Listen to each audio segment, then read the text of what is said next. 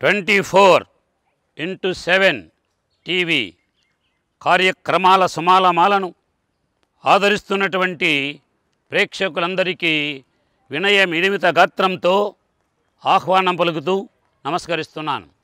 నేను ఈరోజు ఈ వీడియోలో ఒక ముఖ్యమైన విషయాన్ని మీకు అందరికీ మనవి చేయదలుచుకున్నాను. ఎందుకంటే నేను అనేక సభా కార్యక్రమాల్లో పాల్గొన్నప్పుడు సత్సంగాల్లో ఉన్నటప్పుడు డిస్కోర్స్లో ఉన్నటప్పుడు ఆ ప్రేక్షకుల నుంచి ఒక అనుమానం ఉండేది. అదేమిటంటే నరసింహారెడ్డి మేము భగవంతుణ్ణి ఎప్పుడు స్మరించాలి? ఎప్పుడు ప్రార్థించాలి? శైశవంలోనా? బాల్యంలోనా? కౌమారంలోనా? యవనంలోనా? వార్ధక్యంలోనా? ఉద్యోగంలో ఉన్నప్పుడా? ఉద్యోగం విరమించిన తర్వాతనా? పదవిలో ఉన్నప్పుడా? లేక పదవి పోయిన తర్వాతనా? అని ఈ సందేహ పరంపరలను నన్ను అడుగుతుంటారు. వాళ్ళందరికీ కూడా మహానుభావులు చెప్పినటువంటి విషయాన్ని గుర్తు చేసుకుంటూ వాళ్ళందరిని చెప్తున్నాను. ఎప్పుడు ప్రార్థించాలి అనేదాన్ని మీ అందరి ముందు ఉంచుతున్నాను అన్నమాట ప్రబలి కఫంబు కంఠమున బాధలు పెట్టెడి వేళ ప్రబలి కఫంబు కంఠమున బాధలు పెట్టెడి వేళ బంధువుల్ గబగబ బయటబెట్టుడిక లాభము లేదను వేళ కింకరుల్ దబ దబ ప్రాణపాశములు లాగెడి వేళలా ఆలుబిడ్డలు లబలబ ఏడ్చువేళ తరమా హరినామము నోటబల్కగన్ అని ఈ అజ్ఞాత కవి అమృతమయమైనటువంటి పద్యాన్ని చెప్పినాడు. కఫం అనేటువంటిది మన గొంతులో కంఠంలో అడ్డపడితే అప్పుడు భగవంతుని స్మరించడం సాధ్యం కాదు. ఆ విధంగానే బంధువులందరూ కూడా వచ్చేసి ఇక లాభం లేదు నమ్మకం లేదు మంచం మీద నుంచి జించి కింద పెట్టండి అన్నప్పుడు భగవంతుణ్ణి స్మరించడం సాధ్యం కాదు. ఆ ప్రకారంగానే యమ బడులు వచ్చేసి మన ప్రాణములనేటువంటి త్రాళ్ళను గబగబా లాగుతూ ఉంటే మనం భగవంతుని ప్రార్థించడం సాధ్యం కాదు. అంటే భార్య పిల్లలు ఆలుబిడ్డలు కూడా నెత్తి నోరు కొట్టుకుంటూ లబ లబ లబ ఏడుస్తూ ఉంటే అప్పుడు మనకు భగవంతుని ప్రార్థించాలనేటువంటి ఆలోచన రాదు. కాబట్టి మరి ఎప్పుడు ప్రార్థించాలా? అనే ప్రశ్న వచ్చినప్పుడు దూర్జటి అనేటువంటి మహాకవి మన ప్రక్కనే ఉన్నటువంటి శ్రీకాళహస్తీశ్వర స్వామిని గురించి శ్రీకాళహస్తీశ్వర శతకము అని వంద పద్యాలు రాశాడు. అందులో ఒక పద్యంలో భగవంతుని మనం ఎప్పుడు స్మరించాలి? ఎప్పుడు పూజ చేయాలి? అనేదాన్ని ఆయన చెప్పాడు.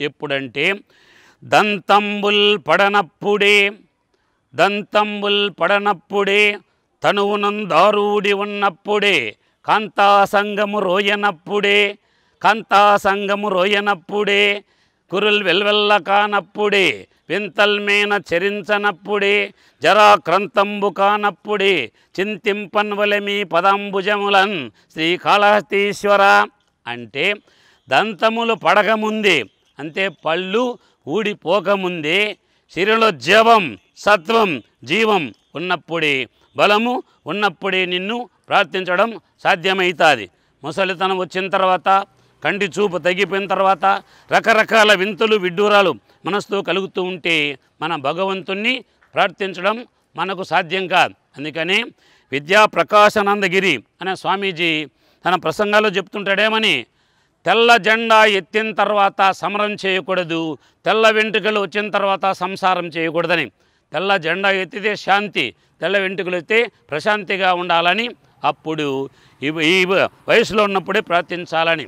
ఈ విధంగానే శేషప్ప అనేటువంటి ఒక ఆధ్యాత్మికవేత్త మహాకవి తాను రాసినటువంటి నరసింహ శతకంలో దేవుణ్ణి ఎప్పుడు ప్రార్థించాలా? మరణం వచ్చినప్పుడా?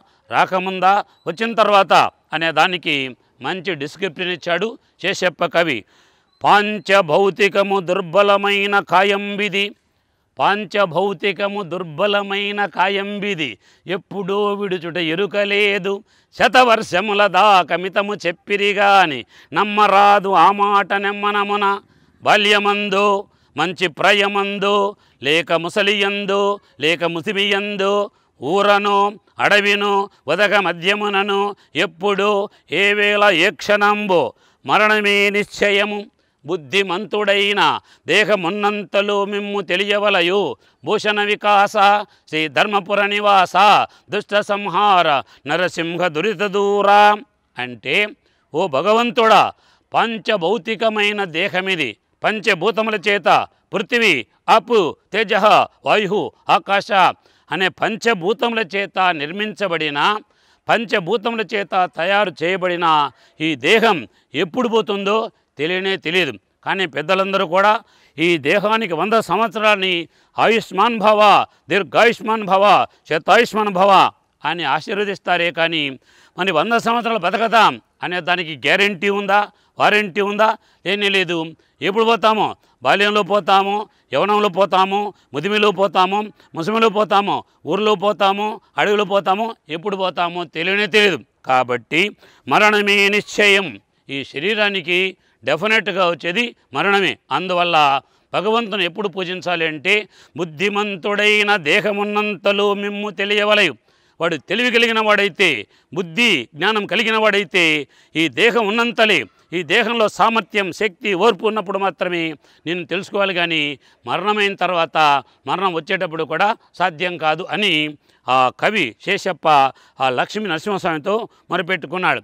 అట్లే ఒక అజ్ఞాత కవి ఒక జానపద కవి మనోహరంగా చెప్పాడు భగవంతుణ్ణి ఎప్పుడు స్మరించాలని.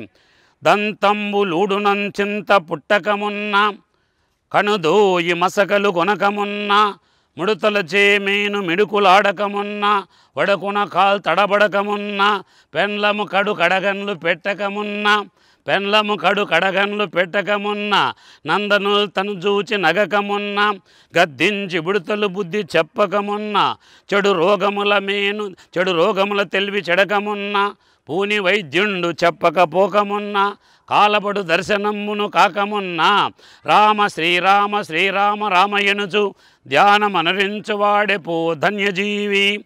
అంటే దంతములు ఊడిపోతాయి. పండ్లు సడలిపోతున్నాయి అనే దానికంటే ముందుగానే కండ్లకు పొరలు క్యాటరాక్ట్ రాకముందే శరీరం అంతా కూడా నవనవలాడే మిసమిసలాడేటువంటి శరీరం మీద ముడతలు రాకముందే నడిచేటప్పుడు కాలు తడబడకముందే పెండ్లము కష్టాలు పెట్టకముందే మన కొడుకులు కన్న కొడుకులు కడుపు చించుకొని పేగు తెంచుకొని పుట్టినటువంటి కొడుకులే మనల్ని నాన్న నీకేమీ తెలియదని ఎగతాళి చేయకముందే.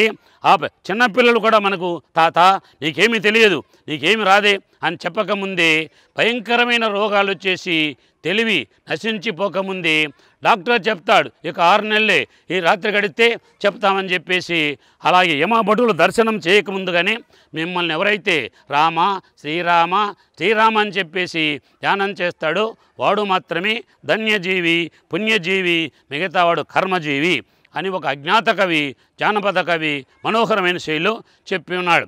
ఆ విధంగానే దాశరథి అనేటువంటి శతకంలో కంచర్ల గోపన్న అనేటువంటి పేరు కలిగిన రామదాసు చాలా బాగా ముందు జాగ్రత్త చెప్పాడు.